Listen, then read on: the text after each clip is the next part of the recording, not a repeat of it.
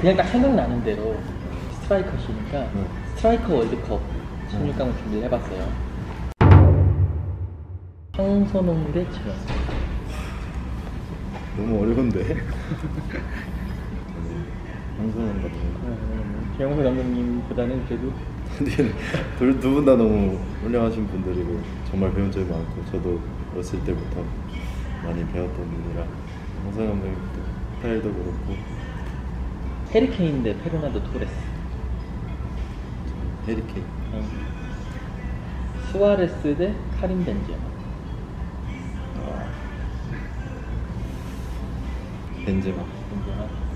둘 비슷한데 굳이 벤제마는 음, 조금 더뭐 골 결정력은 당연히 두 선수 다 너무 좋고 좀 움직임적인 부분, 좀 스타일적인 부분에서 아무래도 벤제마 선수의 플레이도 많이 봤었기 때문에. 안정환 대 이동. 저는 이동국. 지금도 아직까지 정말 잘하고 계시고 또 이렇게 긴 시간 동안 꾸준히 잘하는 게 쉽지가 않은데 그런 분들은 뭐 저도 많이 배우려고 하고 있고 골을 넣을 수 있는 그런 포인트 골을 넣을 수 있는 그런 상황들을 너무 잘 알고 계신 것 같아서 그런 점들을 많이 배우려고 하고 있어요 13년 후에도 황희조 선수도 계속 뛰셔야지. 딱 13살 차이니까. 그랬으면 좋겠어요 그 다음에 루니 대 세르지오 아베. 저는 아구에로 아베. 드록바 대 레반도프스키. 저는 레반도프스키 카바니 대 zel라탄. 카반 카바니. 박주영 대 대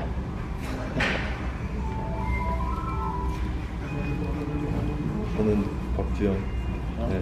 대안을 예전에 되게 좋아한다고 하지 네, 않았어요? 대안을 옛날에 제가 대학교 때부터 대안 영상을 많이 보고 골 넣는 영상도 많이 보면서 연구를 많이 했었는데 결정력이 좋은 선수라는 걸 너무 알았고 또 운전 앞에서 뭐 찬스가 나서 한번 걸리면은 어, 언제든지 골을 기록할 수 있는 선수라고 생각을 했기 때문에 대안도 항상 많이 보면서 연구를 했는데 스트라이커로서 충분한 너무 좋은 기술들 너무 좋은 재능들을 많이 가지고 계신 것 같아서 저도 경기를 같이 뛰어봤으니까 어, 많이 경기를 뛰면서 많이 배웠던 것 같아요. 오케이. 황선홍 대 해리케인. 해리킨 감독님 안녕. 벤제마 대 이동국.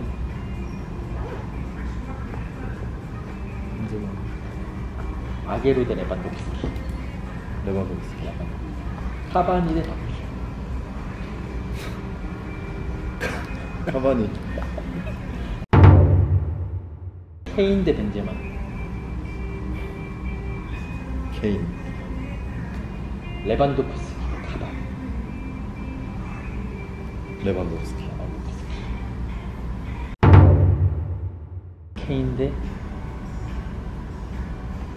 레반도프스키. 전 케인 아, 케인.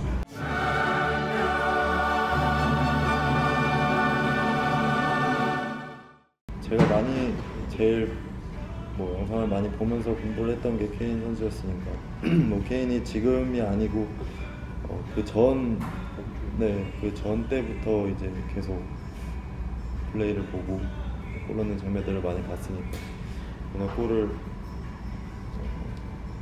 뭐 운전 밖에서나 운전 안에서나 뭐 정확한 코스로 항상 골을 쉽게 쉽게 넣는 것 같아서 뭐 그런 점들을 많이 배웠던 것 같아요. 저도 찬스가 났을 때 슈팅을 많이 가져가려고 하는 편이다 보니까 아무래도 그런 선수의 영상을 많이 봤었는데 많이 보면서 많이 느끼는 것도 많았고 저였으면 저렇게 했을 텐데 저렇게도 하는구나라고 하면서 많이 배웠던 것 같아요. 케인 대 손흥민. 어, 흥민이 흥민이? 흥민이 잘하죠. 흥민이가 이제 지금 뭐 경기 못 나오고 있는데 뭐 경기에 다시 출전하게 된다면 어, 충분히 작년보다 더 좋은 성적을 낼 수 있을 거라 생각하고 친구로서 많이 응원하고 있어요.